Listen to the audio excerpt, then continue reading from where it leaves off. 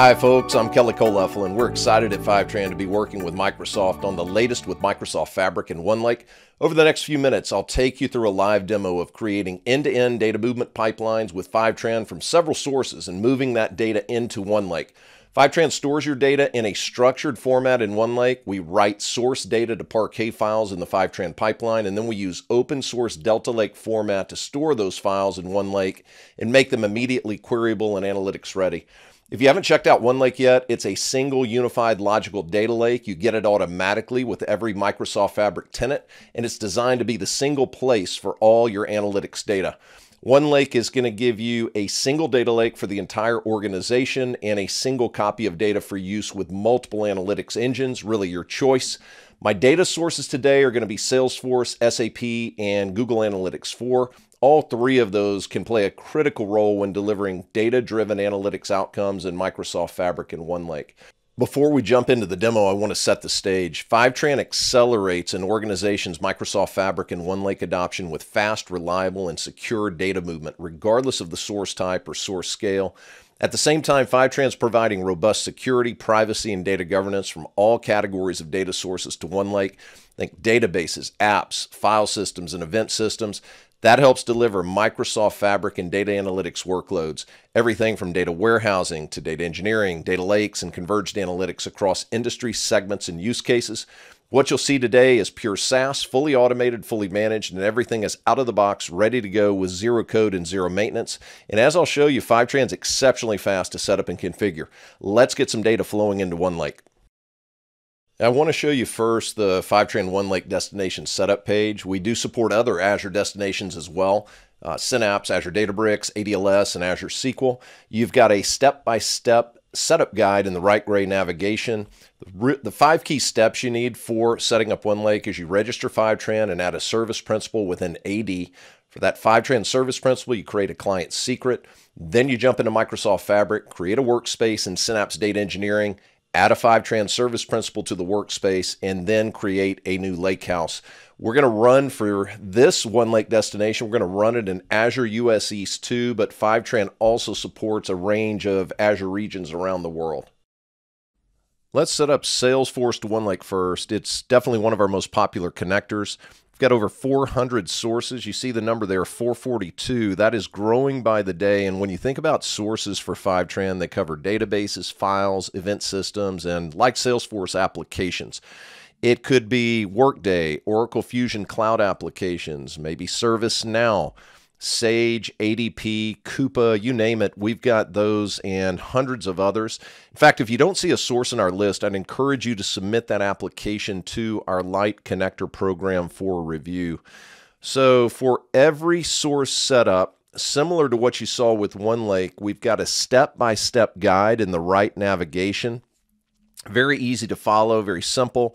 For Salesforce, I determine my schema name, and Fivetran will in turn automatically create that schema and the associated data set in OneLake and manage any and all schema drift for me along the way. I'm going to go ahead and authorize that connection.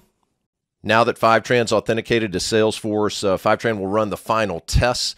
Our Salesforce connector is optimized to use the fewest API calls possible. We manage the rate limits, and in practice, customers find Fivetran is not a significant API consumer. So now what Fivetran is going to do is go out and fetch the schema, the tables, the columns, that uh, all the data that I have available in this Salesforce instance. I've got over a thousand tables here in this. I'm in the Salesforce developer instance, by the way. And I'm going to select a few tables here. I could take that entire data set, but if I've got specific requirements around uh, a few schemas, a few tables, a few columns, hundreds of those, or even all thousand, I can either take them all, I can block what I want to block, and even at the column level within a table, I could block individual columns. What's interesting too, if I've got data anonymization or PII requirements at a column level, I can hash at the column level and ensure that my source system PII is not passed over to my analytics platform in OneLake. Fivetran is going to do a historical sync of that Salesforce data and also sets us up for incremental syncs and CDC automatically. Uh, for today, I'm going to allow all changes. Uh, any new schemas, tables, and columns will flow into my data set. And from there, that's it. Let's start that initial sync.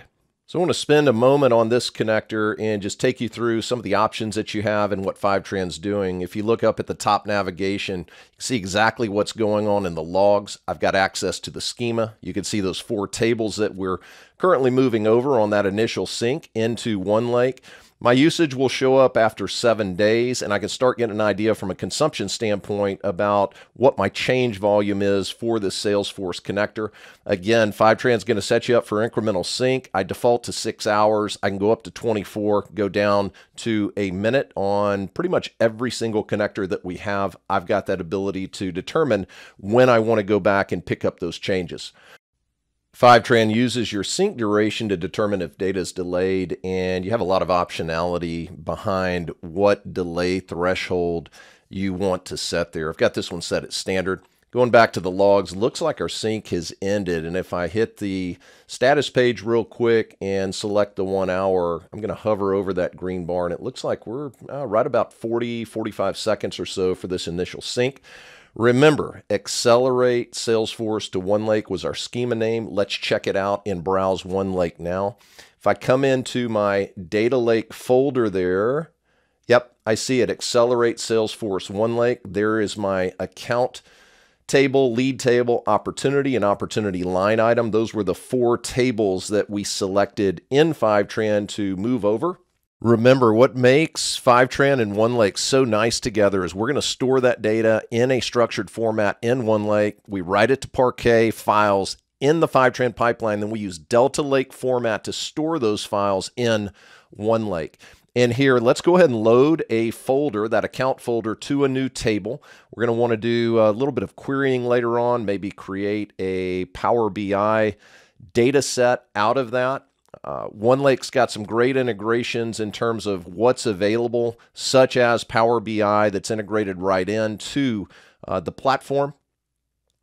Here, I'm going to do a quick data preview on that account table. So let's load that up and take a look at some of the columns that we've got organized, understandable, normalized data sets in OneLake. That's what you want. You want data that is ready to use, it's available. By the way, there is that hashed column, uh, that account number column that we hashed earlier on, and you can see that persisted over. No PII exposed in the OneLake platform at all. That stays in your source platform. OneLake makes it really easy to find, explore, use any and all of the Fabric data items uh, that you have across your organization. So here we are going to create a new Power BI data set. I want to do some exploration on that Salesforce account table. Really simple to drag and drop different dimensions, different columns, different measures over onto the palette.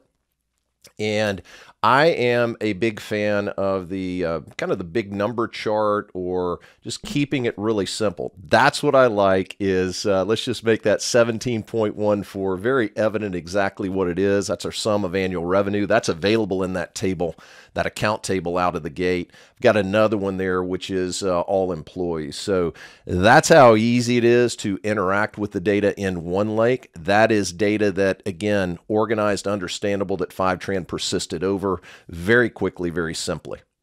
I'm going to go ahead and save this report. I may want to come back to it a little bit later on. Really nice integration, Power BI and OneLake. And remember, what makes all of this possible with Fivetran and OneLake working together is the fact that we're leveraging the Delta Lake open table format that gives you analytics ready data right out of the gate.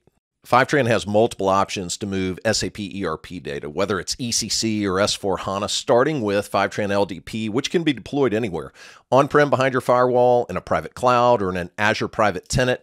LDP uses an agent based approach to provide filtering and compression and achieve exceptionally fast SAP data movement to OneLake with continuous sync.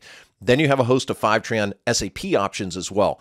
Fivetran HVR connectors use a hybrid approach with Fivetran SaaS, communicates with a local agent or listener on the SAP source. Again, high volume, low latency for large SAP environments. We've also rolled out a new option recently, which is a Fivetran SaaS fully managed connector that communicates with SAP through the NetWeaver API and an SAP transport for both initial syncs and incremental CDC. That connector supports one minute polling, also works with SAP Rise and supports any SAP license type. That's what we're going to set up today for moving SAP ERP data to OneLake. SAP does present a unique set of challenges. It's behind an application layer. It's in a data model that has over 100,000 tables. It's coded fields and tables. It's no change data markers. A lot of different challenges there. We're going to configure, though, this SAP ERP on HANA connector, much the same as we did with Salesforce, except I do have to provide some additional credentials. Documentation, as always, everything is well documented in that right gray nav and I can add my own destination schema prefix. We'll keep it similar to how we did the Salesforce uh, schema earlier. We'll go accelerate SAP HANA OneLake Fabric now.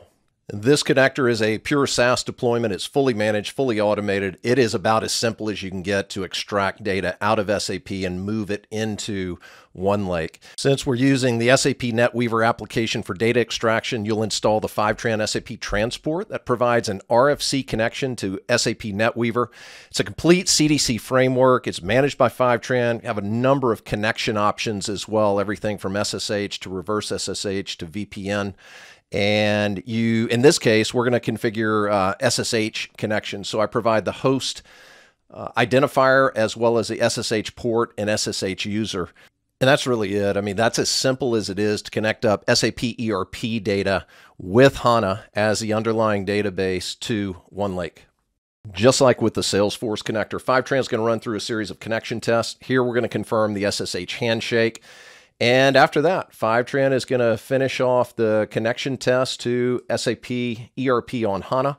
All those tests have passed. We love that green light. And based on that authentication, I've got access to any of the SAP tables that I'm authorized for. It's over 100,000 tables in SAP. I'm going to pick a few out here. Not all those tables are used for analytics, but uh, we'll pick a few of them here, MAKT, Mara, and maybe Marv. And let's see if we've got those out there in this HANA instance. We should. And we do. Let's uh, pick those three tables. I could add more. I can block any of the SAP tables that I want or add new ones in later on. So let's go ahead and start that initial sync. That's about as simple as it gets. Uh, sync shouldn't take long. It's a relatively small data set. Check out the logs here. I've got the schema available. I can add to that. I can take away whatever I want to do. You can see the columns there under the MAKT table. Same thing for Mara and Marv.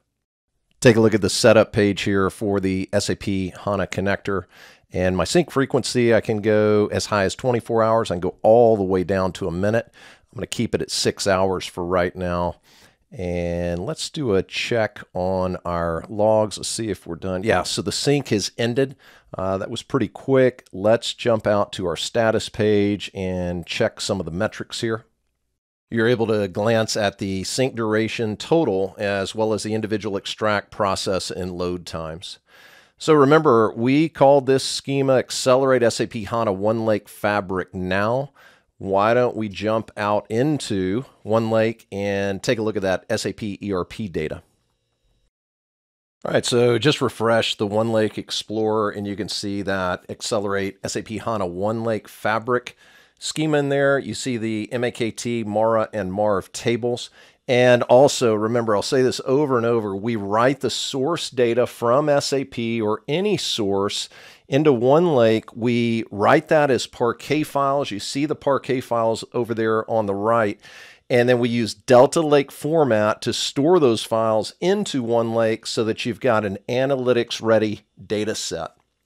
So I'm going to go ahead and load the uh, MAKT table into OneLake so that we can do some uh, quick uh, data previews and potentially even some queries if I want to later on.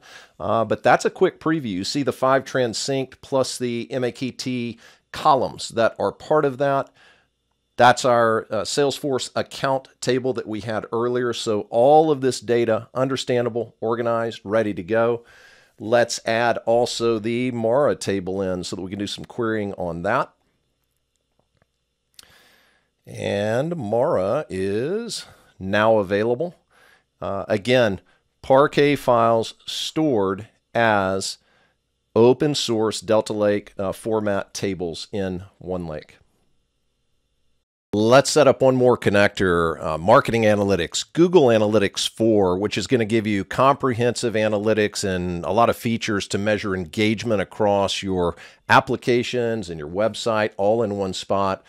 Pretty simple to configure, as always with Fivetran. We're going to keep that same uh, schema formatting here, accelerate Google Analytics 4 to one OneLake. Really no difference there. This is going to look very similar to uh, the Salesforce configuration that we did earlier. I'm going to allow uh, Google to access my account. And you see a few more options here. I can pick my time frame. I'm going to leave it at 12 months, but I could go three months, six months, whatever it may be. I also want to sync all accounts here and uh, connect up to a pre-built report. In this case, I'm going to use a demographic age report.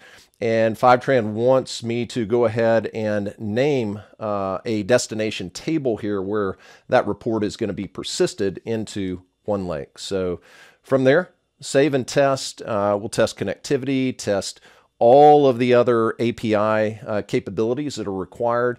I am able to connect. We won't rate Fivetran just yet. I'll let you do that. And uh, from here, let's uh, take a look at getting that initial sync going. Again, I could block or block columns, block tables, block schemas, as well as hash any PII data or PII columns uh, if I would like to.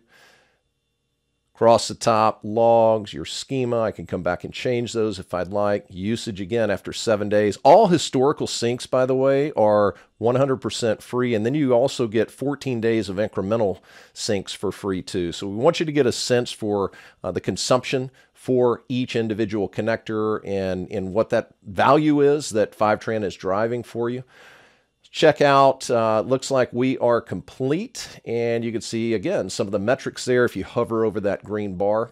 Let's go use the OneLake Explorer to browse that new Google Analytics 4 data. You see that schema populating in there into our data lake folder. I've got those various tables that uh, we moved over for that particular report. I've got conversion events, accounts, if you remember in OneLake earlier, we had loaded in an account table from Salesforce, and then we'd also loaded a couple of SAP ERP tables, MAKT and Mara. Do the same thing with the Google Analytics for conversion events table. Uh, might want to do, I don't know, Power BI report, may want to combine that up with some other data sets later on. Uh, and you can see the data preview gives us a really nice view of those conversion events.